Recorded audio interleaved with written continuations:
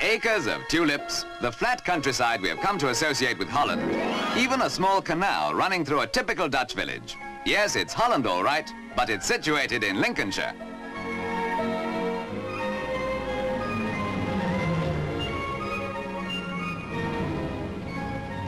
The occasion of our visit is the Tulip Time Festival at Spalding, where 76% of all English tulip bulbs are grown.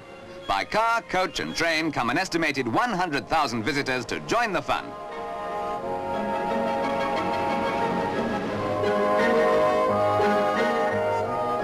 A real schoolboy's paradise, this. You can spend all day nipping the heads off the flowers and get paid for it. The important part of these particular plants is the bulb and the stem is cut as near to the tulip head as possible. The bulbs are then left in the ground for six to eight weeks prior to being dried, cleaned and marketed.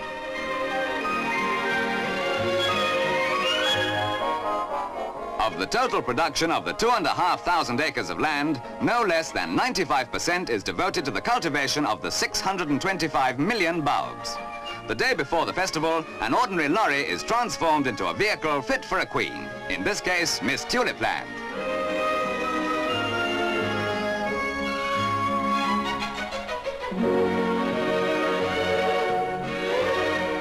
Meanwhile, work in the fields continues. Although bulbs have been grown in this area for 70 years, the festival only started 25 years ago. The number of visitors increased so alarmingly that a few growers decided to organize the whole thing, as much in self-protection as anything else.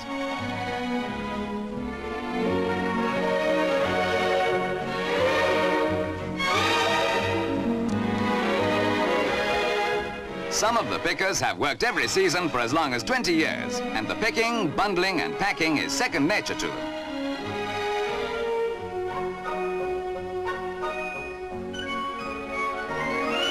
Highlight of the festival is the procession, presided over by Tulip Queen Janet Bray and her two attendants.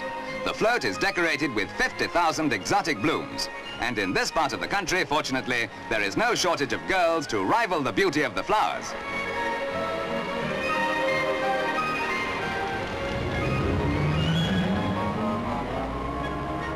Great excitement, particularly for the children, as the gaily decorated procession winds its way along the 51-mile route.